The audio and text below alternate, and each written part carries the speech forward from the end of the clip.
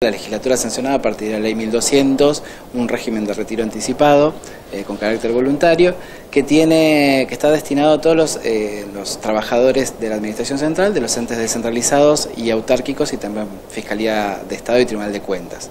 Eh, este régimen está destinado a aquellos trabajadores que tengan más de un año de antigüedad, decir, como mínimo se requiere que tengan un año de antigüedad, y aquellos también que estén próximos a jubilarse, es decir, que es un abanico bastante amplio, desde dos años de antigüedad hasta 23, 24 años de, servicios. Eh, los únicos que, quedan excluidos de este régimen van a ser los eh, médicos, el personal penitenciario, en realidad más que los médicos, los profesionales de la salud,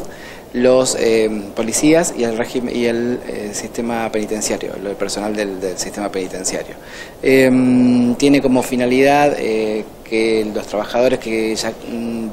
decidan no seguir trabajando, prestando servicios en la administración pública, puedan acogerse a este beneficio percibiendo una remuneración que va a ser el 60% de, eh, de lo que venían percibiendo normal y habitualmente por un lapso de 36 meses. Tiene como novedad este programa que, eh, que se puede computar como eh, años de servicio y el, el, beneficio que se percibe es remuneración que se percibiría va a estar sujeta a aportes eh, y contribuciones, con lo cual se puede computar para los que le faltan uno, dos o tres años eh, para poder jubilarse, para poder jubilarse. Así que esperamos eh, tener buen suceso con esto. De hecho ya ha tenido muy buena repercusión y hay muchas consultas respecto de cómo anotarse y estamos haciendo todo lo que es la reglamentación para implementarla a partir de la primera semana de marzo, seguramente todo el proceso de inscripción.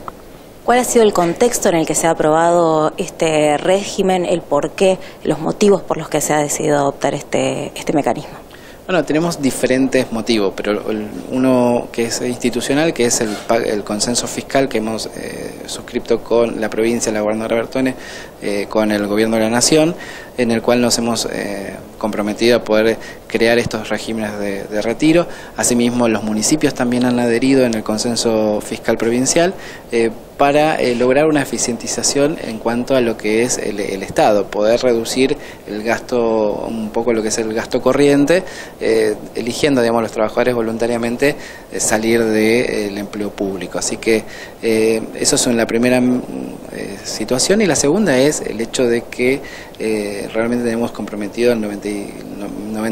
del presupuesto en, el inciso 1, que es sueldos y contribuciones, y realmente eh, si lográramos no estar tan comprometidos en cuanto, a lo en cuanto a lo salarial, también permitiría poder discutir una pauta salarial año a año sin estar pensando en, poner en jaque todo lo que es la gestión pública. Así que realmente también entendemos que se trata de darle la posibilidad a los trabajadores de elegir eh, emigrar hacia otras actividades privadas. Hay muchos trabajadores que están en condiciones de jubilarse o aquellos que ya estaban con eh, largo tratamiento o aquellos que vieron al Estado como una oportunidad de tener un salario seguro y hoy ven la actividad privada o un emprendimiento profesional o comercial propio y quizás esto sea un incentivo para poder eh, mejorar su, situación personal. Así que realmente entendemos que eh, existen varios factores, eh, bueno, y esos son los que tuvimos en cuenta. Hasta ahora hemos recogido muchas inquietudes de los trabajadores y esperamos que en marzo poder tener un programa muy exitoso.